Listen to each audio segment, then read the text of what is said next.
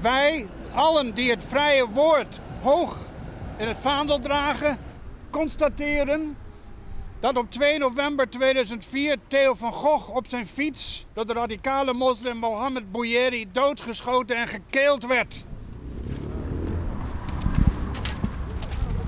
Half drie, de Linnaeusstraat vanmiddag. Hoewel de opkomst bij de herdenking van de moord op Theo van Gogh groter is dan eerdere jaren, is het slechts een fractie van de menigte die hier stond 15 jaar terug. Nou, we glijden af naar een samenleving waar de honden geen brood verlust hoor. Dat kan ik je wel vertellen. Mensen gingen toen massaal in het openbaar met elkaar in discussie over de vrijheid van meningsuiting en over hoe de samenleving er volgens hen voor stond. Hier is iemand vermoord ja, op zijn vrije woord, ja. dat soort haat die jij Nee, dit is het haat wat, wat Jan Tromp zegt dat die man onder de tram moet komen. Nee, dat is wij moeten met elkaar leren praten.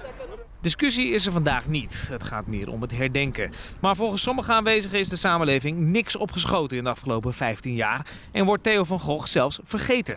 Tuurlijk, hij kon hele grove dingen zeggen, maar ook hele ware dingen. En uh, ja, we zijn er niet beter op geworden in die 15 jaar dat Theo er niet meer is. De vrijheid van meningsuiting staat echt onder druk. Nee, ik denk dat heel veel mensen bang zijn om voor hun mening uit te komen of de discussie aan te gaan. Als je nu kijkt gisteren uh, naar zowel De Wereld Draait Door, Pauw en Bo... dat er eigenlijk helemaal geen of nauwelijks aandacht voor uh, Theo van Gogh is... En zoals elk jaar is er ook een sterk anti-islam geluid te horen, volgens de aanwezigen in de geest van Theo van Gogh. Je moet die moslims blijven sarren en treiteren en je moet ze vooral veel uitlachen.